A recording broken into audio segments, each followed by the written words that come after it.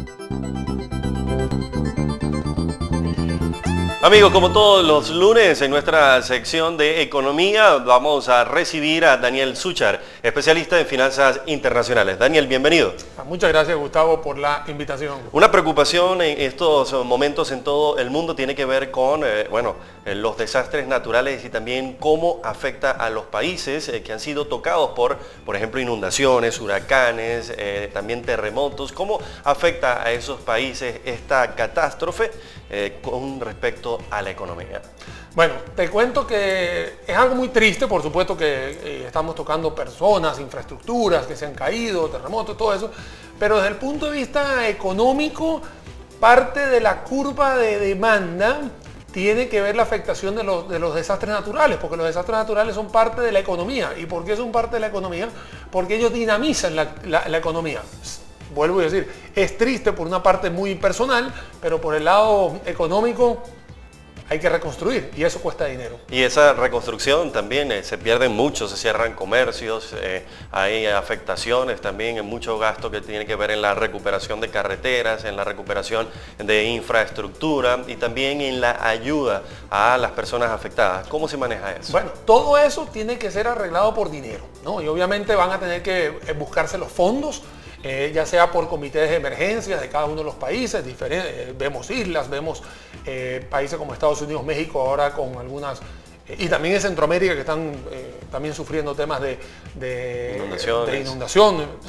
Hay dinero que tiene que, salir y ese dinero se tiene que destinar a la compra de productos, así es sencillo, para poder, obviamente, levantar toda esa economía. Esa economía no sale tan rápido, Obviamente hay que ir haciendo las cosas poco a poco, hacer carreteras no dura de la noche a la mañana, reactivar puentes, edificios, todo eso, pero lo que sí está claro es que el cemento, la varilla, el personal que tiene la mano de obra, hay que pagarla y eso va reactivando obviamente eh, poco a poco la economía que no estaba eh, disponible en ese momento. Quiero preguntarte sobre la situación con Puerto Rico, ¿no? Hay anuncios de, eh, bueno, el estado de, de calamidad en el que está actualmente en la isla y que además no tienen los suficientes recursos como para eh, poder salir a flote. Se habla del retraso y el colapso de la infraestructura que tiene que ver con el sistema eléctrico que los ha dejado incomunicados y prácticamente eh, bueno, desaparecidos. Entonces, ¿cuál es el problema que tiene esto, eh, esta área que también forma parte de los Estados Unidos.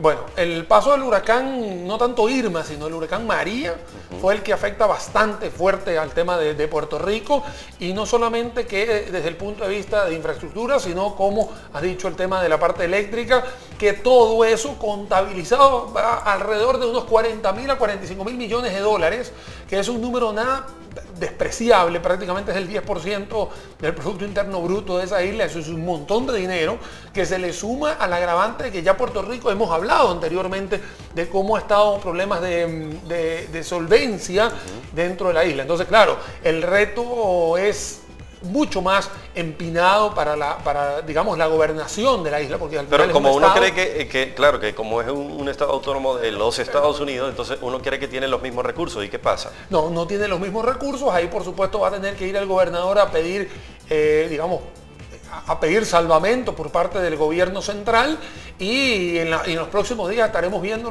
las nuevas ¿no? de qué va a estar pasando con Puerto Rico. Lo que está claro es que hoy en día Puerto Rico lamentablemente se le suma algo que no estaba en el radar, que era obviamente el paso del huracán a ninguna de las islas, por supuesto, pero agrava mucho la situación. Por ejemplo, Gustavo, hay islas en el Caribe que son... Em, digamos, en algún momento fueron eh, territorio francés, en, este caso. ¿no?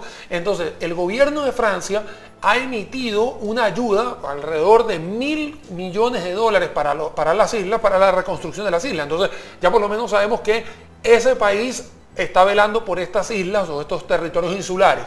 En el caso de Puerto Rico todavía no hemos visto eh, la dirigencia de Trump, en este caso, manifestarse a favor o en contra de alguna ayuda expedita para la isla de los Puerto Rico. La reconstrucción de México y también la situación en Texas son, eh, bueno, catástrofes que necesitan una reactivación de la economía. Bueno, en el caso, de, en el caso del, huracán, del huracán Harvey, que pegó a Texas, y al Irma, que pegó a la parte del sur de la Florida, Miami, eh, Florida, de todos esos em, lugares, se calcula prácticamente unos 290 mil millones de dólares, prácticamente es el 1% del Producto Interno Bruto de Estados Unidos, es un montón de dinero, por supuesto, pero claro, obviamente hay gente que está ayudando, las economías son, no son insulares, son ya territoriales, y, y hay maneras de poderse salvar. En el caso de la isla no había para dónde salir, ¿no? En el caso por lo menos de todas las personas de, digamos, del sur de la Florida pudieron migrar hacia el sur de ese estado, ¿no? Inclusive Georgia y, otras, y, y otros lugares.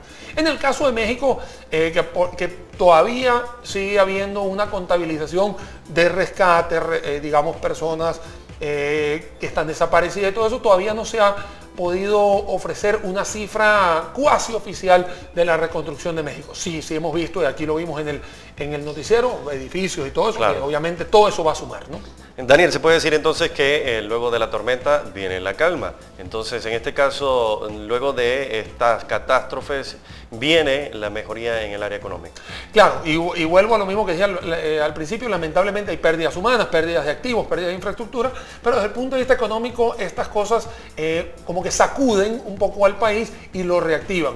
¿Quiénes van a estar reactivando? Bueno, obviamente todas las personas que van a estar involucradas en la reconstrucción de este tipo de infraestructura y como sabemos muy bien, uno de los pilares fundamentales de las economías siempre va a ser la construcción o el área de la construcción va a traer mucho empleo o por lo menos va a haber un gasto importante público, un gasto y también la ayuda de los otros países, ayuda solidaria en materia de recursos. Puede ser. Claro, de hecho en el caso de, México puntualmente hemos visto algunos países como Israel, que no tienen nada que ver con el continente, que han mandado ayudas eh, militares para ayudar a, los rescatistas y todo eso, pero más allá de eso viene un tema, digamos, de la economía que va a inyectar dinero eh, fresco, lamentable, pero va a inyectarse para poder levantar este tipo de, desastres naturales que ninguno está anuente de, tenerlo. Esperemos que nunca, pero así, así se mueve el mundo y también el medio ambiente. Esperemos que así sea y que también que, venga la recuperación, sobre todo de esas sociedades afectadas por las catástrofes. Claro, la recuperación y también viene la recuperación de la confianza, ¿no? porque a veces los sismos tienen réplicas, los huracanes vienen, digamos, otras lluvias y por supuesto vienen ese tipo de, de temores que lo importante es bajar un poco esa ansiedad y que la, y que la población esté más tranquila. Muchas gracias Daniel, gracias por compartir con nosotros como todos los lunes en nuestra sección de economía. No, gracias a ustedes siempre por la invitación, Gustavo.